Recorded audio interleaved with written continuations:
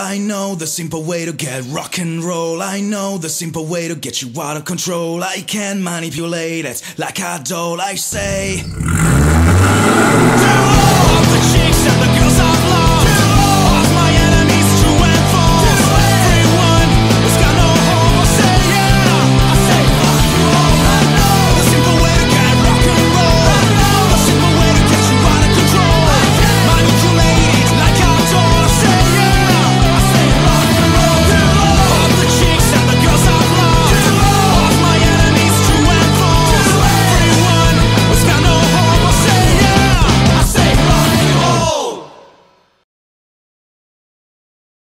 I have finally removed the old fuel pump from the basket, right? And this is how it looks when you compare it with the new one. Uh, as you can see, they are pretty much uh, similar size. This is supposed to go here, right? But of course, yeah, there, there is a problem with the size, but nothing that cannot be fixed. The diameter of the new fuel pump is around 39 millimeters. And this happens to be almost exactly the same diameter as in here in the basket.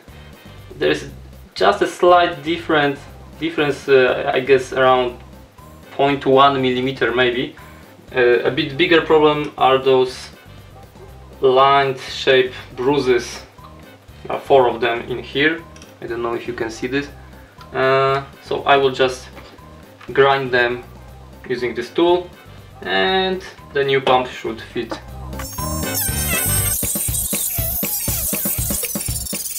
So I've grinded quite a lot of material out of this sleeve but the new pump still wouldn't fit.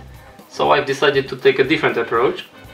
Um, as you can see this sleeve is held in place by those three uh, plastic springs um, so when I've used this saw blade to make a split in the sleeve, those springs have actually pushed it aside even farther, creating this nice gap over here. Yeah, so with this gap, the internal diameter, inner diameter of the sleeve is now, now much bigger and the pump, yeah, slides right in yeah it's even a little bit too loose. So um, I'm going to use this uh, band uh, well of course a bigger version of that this metal band to clamp it in place yeah and this should be secured secured quite good. Um, yeah there is still a lot of plastic residue everywhere so I've put those caps on uh, back on to, to prevent the contamination of the pump.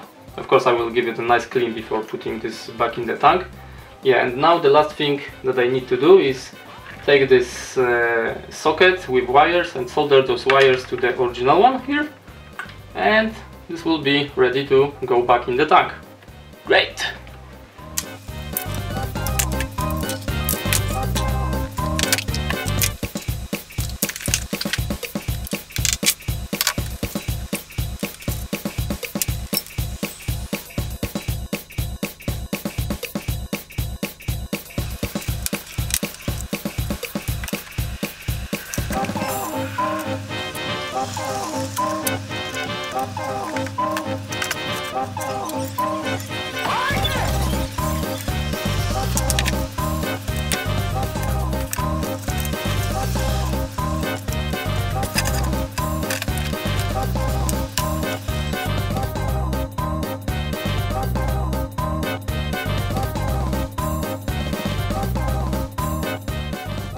As a bonus, let me explain uh, where is the signal from uh, fuel gauge coming from. So here we've got this uh, fuel pump assembly and as you can see there are three wires coming in and there is a there are two sliders and this resistive line made of carbon. So when this float is uh, up, so you've got the full tank, as you can see the resistance between this black wire and uh, and the brown one is around 4 ohms so it's pretty low and mm, when the fuel is uh, coming, fuel level is coming down. As you can see, the resistance is uh, going up, up, up, up until you got empty tank, and it's around 300 ohms, 310 maybe. Yeah. In older constructions of the to make the instrument cluster cheaper without any microcontroller, there was also this third wire, this yellow in here. Um, and this wire is here only to use the second slider to show the low amount of fuel on your instrument cluster. So let me just change it yeah so we've got some fuel still left. As you can see there is nothing zero ohms right I mean uh, sorry uh, open circuit so the fuel is going down down down Yep, and finally we're detecting low fuel level. Okay, so let's put it back in.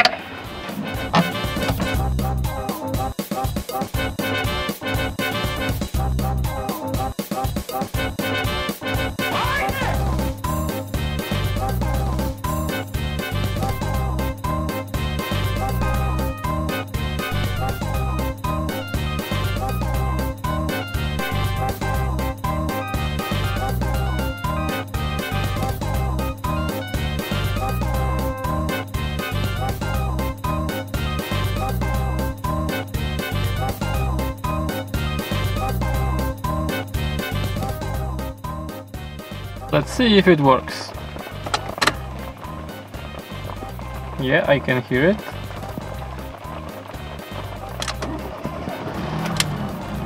Yay!